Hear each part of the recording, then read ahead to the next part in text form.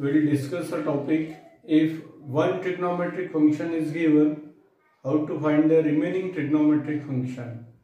There are total six trigonometric function.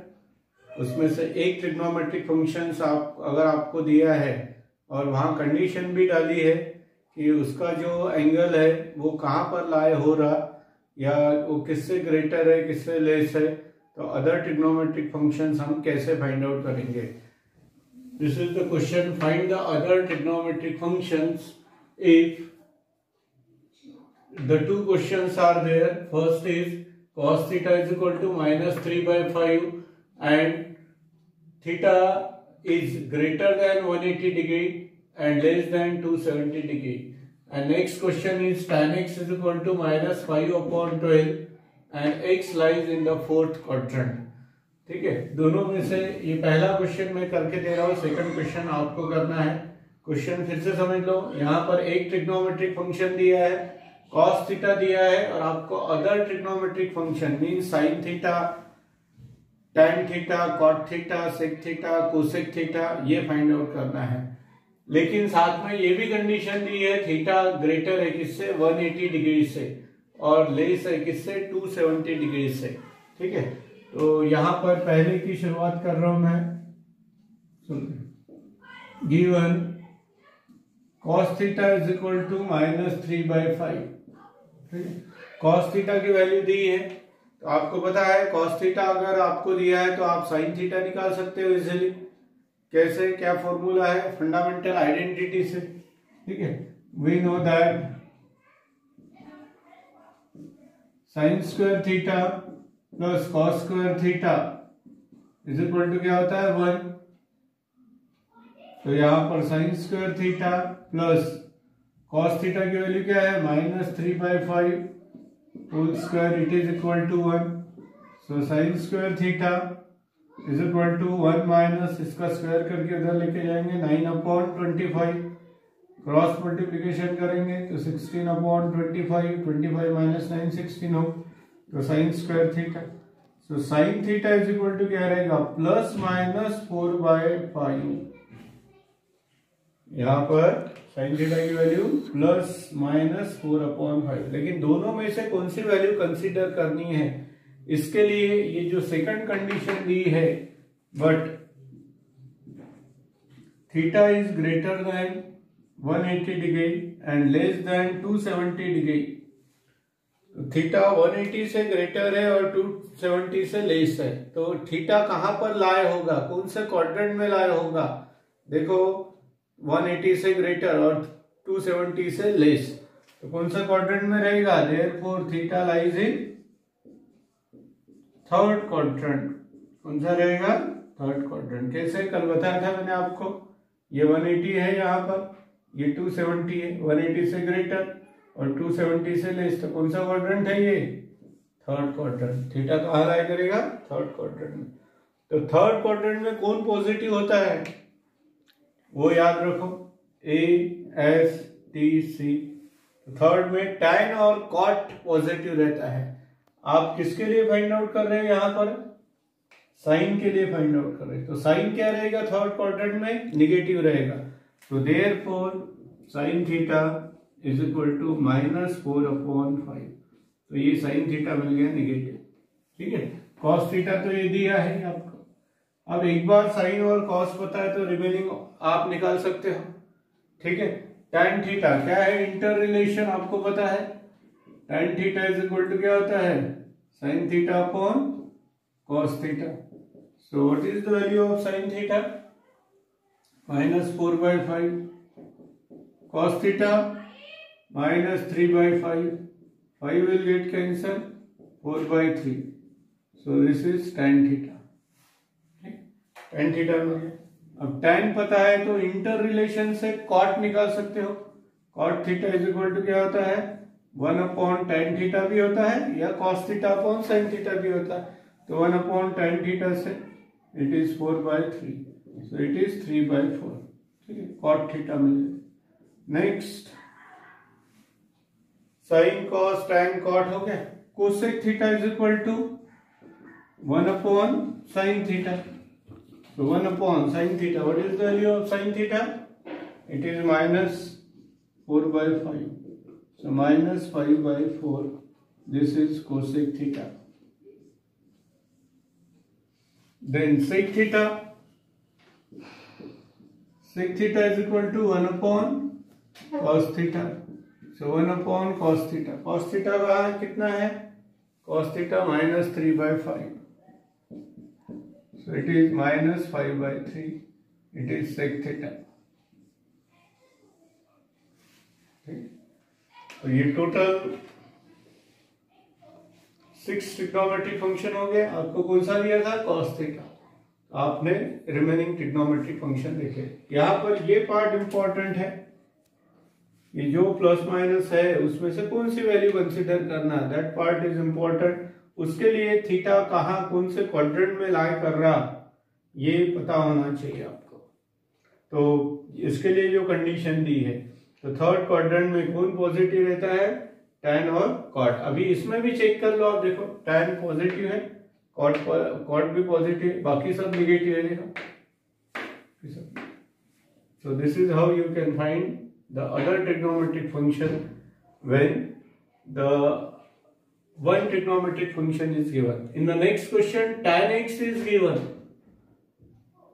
You have to find other trigonometric function or x lies in fourth quadrant तो इसके लिए कौन सी fundamental identity है जैसे यहाँ पर फंडामेंटल आइडेंटिटी कौन सी थी कॉस दिया था इसलिए sine square theta plus cos square theta is equal to one इसके लिए कौन सा रहेगा sec square theta is equal to one plus tan square theta लेकिन instead of theta angle x लिया है तो आप क्या लिखोगे sec square theta sec square x is equal to one plus tan square x तो पहले आपको सेक की वैल्यू मिलेगी तो you can easily solve the second question.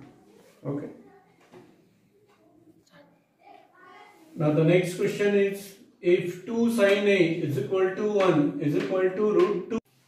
Now the next question is if 2 sin A is equal to 1 is equal to root 2 cos B and angle A is greater than pi by 2 less than pi angle B greater than 3 pi by 2 less than 2 pi then find the value of tan A plus tan B upon cos A minus cos B. Two different angles are given and condition 2 sin A is equal to 1 as well as root 2 cos B. तो ये तीनों equal है तो उसको इसमें हम separate कर सकते हैं दैट इज़ इसी को हम ऐसा लिख सकते हैं two sine A is equal to one and 1 is equal to root 2 cos b. So therefore sin A is equal to 1 upon 2 and cos b is equal to 1 upon root 2. वैसे ही है एक ट्रिग्नोमेट्रिक फ़ंक्शन फिर से दिया है sign sign ए पता है हमको तो रिमेनिंग ट्रिग्नोमेट्रिक फ़ंक्शन निकाल सकते हैं। लेकिन सभी निकालने की ज़रूरत नहीं। उधर देखो, जो आपको जिसकी वैल्यू फाइंड आउट करना है, उसमें कौन एंगल ए के लिए कौन सा ट्रिग्नोमेट्रिक फ़ंक्शन चाहिए? आपको टेन ए चाहिए और कॉस ए चाहिए। बाकी नहीं चाहिए। तो आप साइन पता है तो कॉस ए निकाल सकते हो फंडामेंटल आइडेंटिटी से। तो we know that sine square A plus cos square A is equal to one यहाँ वैल्यू पुट करो one upon two whole square plus cos square A is equal to one so cos square A is equal to one minus इसका square करके इधर आ जाएगा।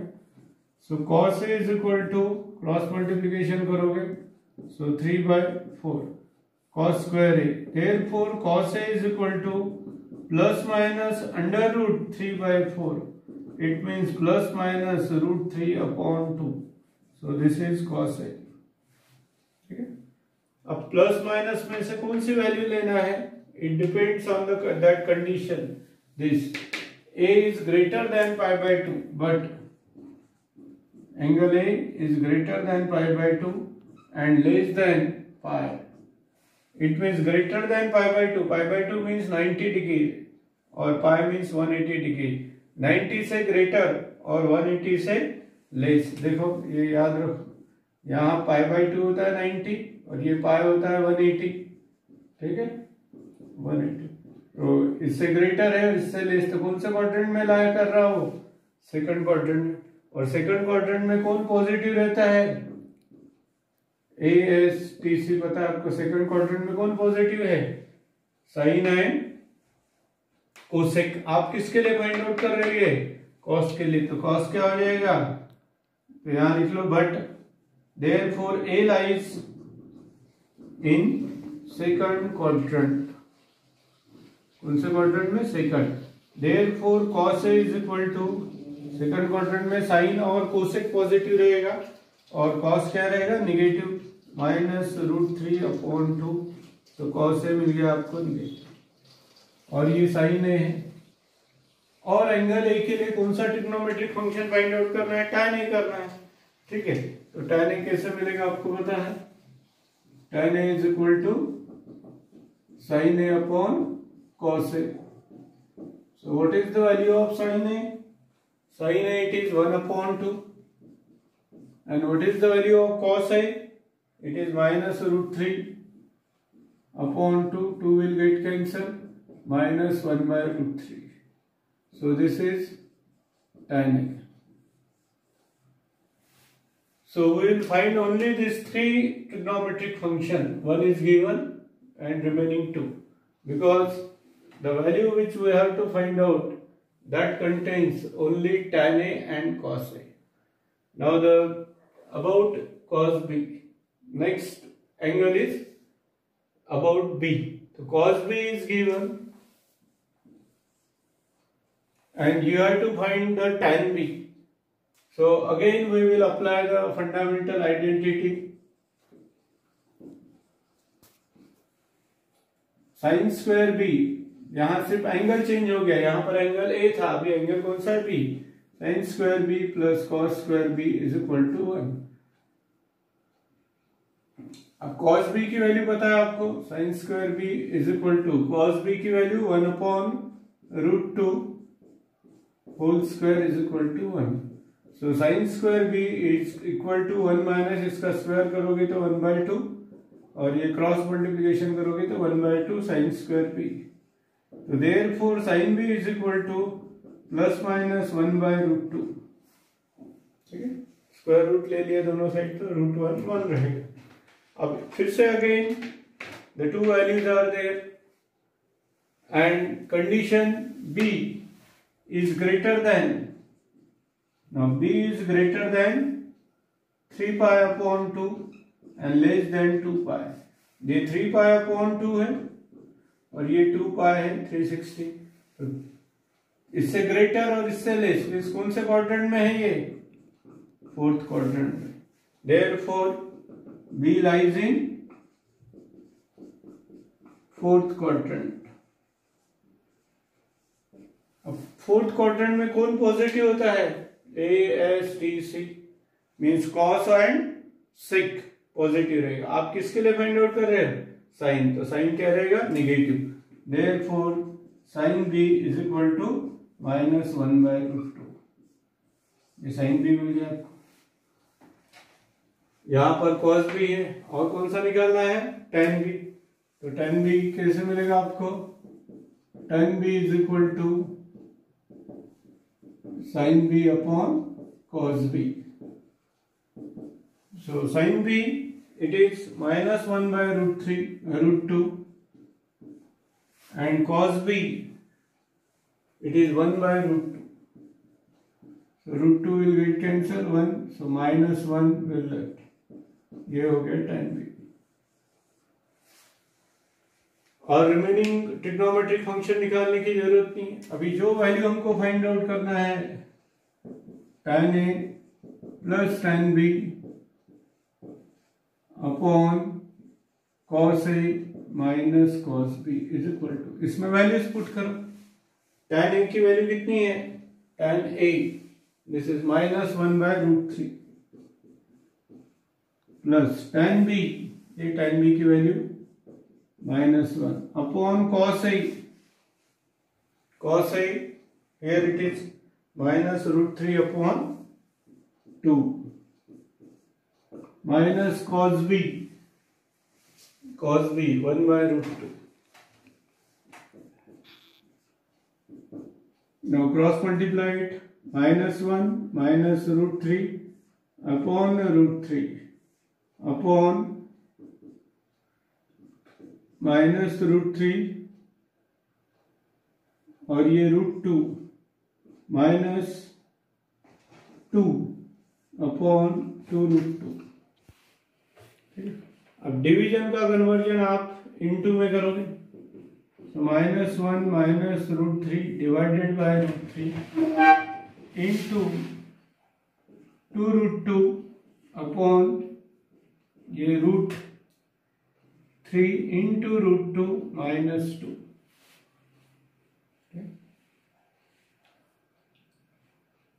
इसको और simplify हो सकता है क्या देखो ये? तो ये माइनस कॉमन निकाल सकते हो। One plus root three into two root two upon root three multiplied by यहाँ से भी माइनस कॉमन निकालोगे और रूट थ्री मल्टीप्लाई करोगे तो थ्री रूट टू क्योंकि root three into root three three minus minus common निकाला है तो प्लस टू रूट थ्री तो दिस इज़ योर answer.